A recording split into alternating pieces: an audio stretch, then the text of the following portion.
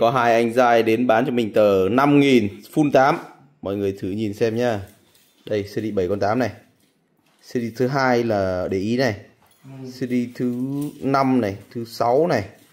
Tờ này có ba cái số phải để ý luôn. Đấy. Ba số là là là là, là bị à, nó chỉnh sửa anh à hay là Sao anh lại có tờ này.